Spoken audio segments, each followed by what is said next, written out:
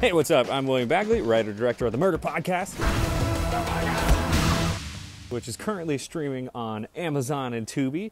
So today I wanted to walk you through my director's notebook, which is actually this little black thing right here. So, what is a director's notebook? Every director's notebook is different. This is mine. This is how I used it, and I thought this might be interesting to some of you. It also might not. So we'll just find out and see. Inside of here, I have the script, and I have my daily breakdowns, and I have my shot list. Really, honestly, I spent most of my time just carrying this around and this just stayed somewhere secure on set in case I needed to reference it. This guy had my shot list on there and I would just be able to check off shots as we went along. Um, but let's go ahead and jump in and I'll show you what's in here.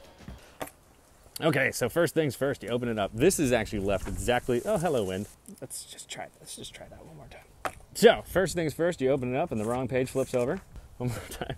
You open it up. First things first, we got, we got this really silly these are the 2020 goals, which is actually one of the props in the movie. We actually had to replace the 2020 by the time the movie came out with VFX uh, because the movie came out in 2022 and 2020 sucked butt. Nobody wanted to be reminded of that. In here, I have my all my daily elements for each shot. So the shoot was 14 days, and each day essentially just has a nice little breakdown. Super simple, really quick, easy to look at. We did use Studio Binder. I'm not sponsored. Um, but essentially, the sort of stuff that would be on here is like the cast members. So day one of 14 says the day that it is. The cast members, who all's in it. So we got three characters: Chad, Eddie, and Steven. I got all the props that I'm gonna need. You know, all the big prop sort of things. And then stunts, for example, I have Chad tosses the rest of his ramen on Eddie. That's not a stunt, but it is something that I knew was gonna take uh, some extra time to do. So I put it down under stunts. But you know, I could look at this as just quick over- overview of boom. This is exactly what we're doing today. It's exactly what I need and just make sure we have all this stuff. As you can see, when I started out, I was checking everything off. As we went along, I stopped doing that. I also listed the scenes that we're going to be playing that day. So on the first day, we did scene 5, 6, 7, 17, and 19. And I have one of these for each day. So day one, two, three, all the way up to 14, you know, and every now and then I would have forgotten something, so I'd write something down. Um, and this was super helpful. I liked this a lot. This was actually probably one of the best and most useful things in the whole book because I would just be like, oh, it's day 10. I just got to set. Okay, let's just make sure we have the coin, a bag of weed. There you are. Of course, I would stop there. Let's just make sure we have the coin, a bag of weed, the microwave, a bowl. You know, we could just quickly go through and make sure we had all that stuff. And I guess we could quickly go through and make sure that the cast was there, but hopefully that's not something you're forgetting. But you never know, it gets pretty crazy on set. All right, ready? Roll sound. Speed, scene 54 delta, take one marker. And action. All right, and then I had the actual script. So this is what most of this is. This is the script. Um, and on here, I had a little note just for me, um, which is remember why you started to make a fun movie, not too serious, just fun. Um, and that was because I knew exactly what kind of movie we were setting out to make. Um, I also knew that we weren't going to have the money to do all the cool stuff that I wanted to do. Um, so at the end of the day, it was just to try to have fun with it and you know accept what it is and just try to have the best time you can. Um, and then also I have this right here, feel it, which I actually think is some of the best directing advice I've ever gotten. Essentially, that means when you're doing a take, just pretend you're the audience and just sit there and try to feel it. If it doesn't feel like a movie, if it doesn't feel right, then do it again. But you want to be able to feel the emotion. You want to be able to feel the themes coming through the screen. The actual script itself is just your standard breakdown. I mean, like, for example, you have one jib down through this stuff, one A, wide shot, one B, close up. Um, and then I would take this and turn it into my shot list. And I would actually do this every night before we shot. I recommend not doing that. I recommend doing it a couple of weeks before you shoot. But because we were kind of waiting to make sure we could lock down locations, it was hard to do a shot list because you never really know what's going to happen.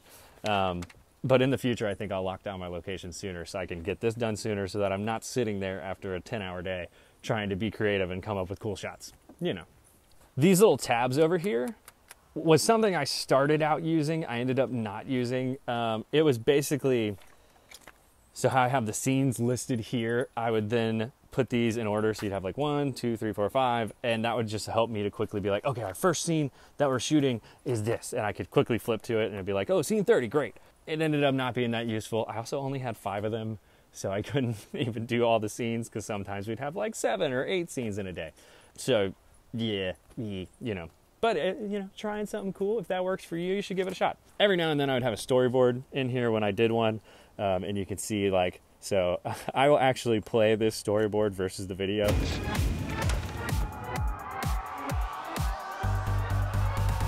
Hey! It's pretty dead on, and I'm pretty happy with it. But the main beef and the main cool stuff in this binder is what's all in here. It's this massive stack of paper. So we're just going to go ahead and pull this out. Also, I didn't mention, but this notebook is left exactly how it was the day we wrapped. Um, so these shot lists are in order. This was day 14 of 14, and the one on the very bottom is day one. So it's kind of like a little time capsule. But we'll check this out. So if you can't tell, the movie got a little more stressful by the time we hit 14. So these on day 14 we're on just like basic notebook paper and on day 1 we were on very nice like printed out beautiful looking shot list. Let's go ahead and let's let's just pop over here. These are the papers that I would have on my clipboard. So the notebook would be sitting somewhere else in case I needed to reference it, but these guys would be with me along with a little list of sides. Um, and basically, you can see, like, for example, Murder Podcast, day one, scene five, jib down as Chad dances in front of a microphone. Chad looks up, looking around views. So I've just got my shots right here, and I've got the type of shot, and then I would literally just cross them off as we went along. Because we're in indie, because of how fast we're moving, this was a godsend. Um, so I got all my scenes through here of day one, and then I also would have a copy of the call sheet and the, the strip board. Not really that useful when you're actually shooting, but very useful when you're setting up your your uh, original whatever. Holy cow, the sun just came out. It's super bright now. And yeah, so each day it was really different. I mean, so for example, let's look. Let me try to find day day six. Okay. So they really say to do whatever works for you. Um, for some of my certain scenes, the shot list wasn't cutting it. Like it just wasn't the right sort of thing to do. Um, and instead, a really easy, quick little storyboard like this would work. So, I mean, you can see these little drawings. It's like a cigarette going out, a face, there's something in the pool, oh my gosh, blah, blah, blah.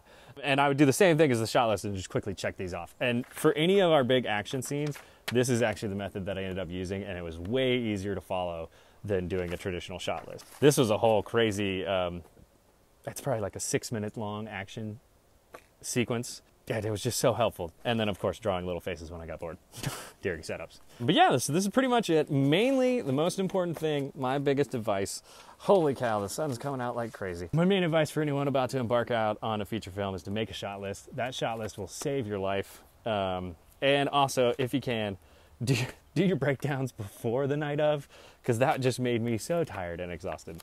Also, these little prop list, incredible, super good. But yeah, that, that's my director's notebook. I hope you found this interesting. I highly recommend if you like horror comedies, go check out our movie. It's called The Murder Podcast. It's available on Amazon and Tubi. If you want more of this kind of thing, let me know because I've got a lot of stuff to share about this movie. It's a good time. All right, guys, peace. Cutting.